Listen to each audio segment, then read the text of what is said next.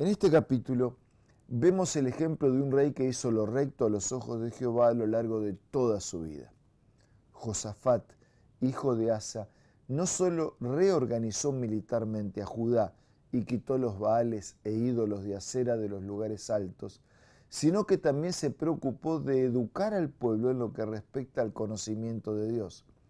Fue tan bendecido por Dios que los otros reyes venían desde la región para llevarle presentes y tributos. Josafat se destacó entre los reyes de Judá. La Biblia dice, al mencionar sus obras, describe cómo se hizo fuerte el reino de Judá militarmente, poniendo ejércitos y guarniciones en las ciudades y puntos estratégicos. No solo eso, sino que honró a Dios en lo personal, siguiendo los caminos de su padre David, y en lo público, quitando las imágenes de acera y los lugares altos de adoración idolátrica en Judá. Todo esto lo hizo ganarse el respeto y amor del pueblo, al punto de que Josafat tenía riquezas y gloria en abundancia. Pero estas obras no fueron lo que marcó definitivamente su reinado. Al tercer año envió a los príncipes de Judá y a los levitas para que enseñasen en las ciudades de Judá el libro de la ley de Dios. Josafat quiso instruir al pueblo del cual era un poco ignorante en cuanto a lo que Dios le había dejado, por lo que se propuso educarlos. Es notable la importancia que Josafat le dio a la educación dentro de todas sus reformas sociales. Josafat probablemente entendía que si bien Dios puede llegar a todos sin importar su condición, una mente preparada es más sensible a escuchar la voz de Dios. Todo lo que Josafat implementó en Judá hizo que se convierta en el terror de los reinos que la rodeaban.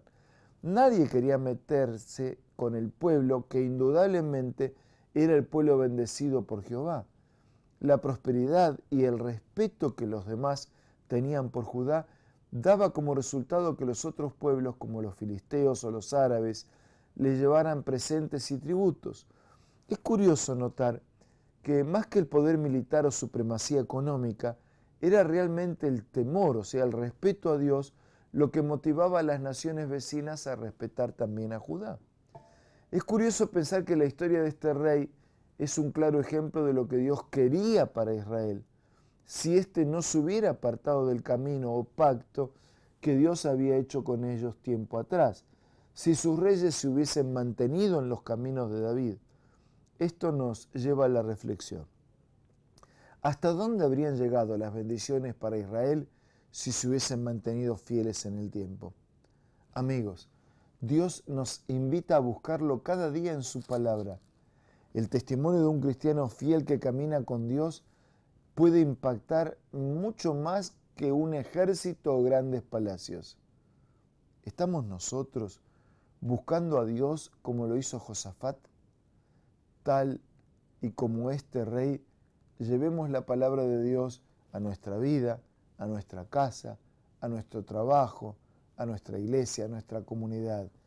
Eduquemos nuestra vida y la de otros en la bendita, segura y permanente palabra de Dios. Vamos a orar. Señor, ayúdanos a aprender de las experiencias de Josafat, a poner prioritariamente tu palabra en nuestra vida, que podamos nosotros y al mismo tiempo ayudar a otros a caminar conforme a tu voluntad. Oramos y agradecemos en el nombre de Jesús. Amén. Un abrazo, hasta mañana si Dios quiere.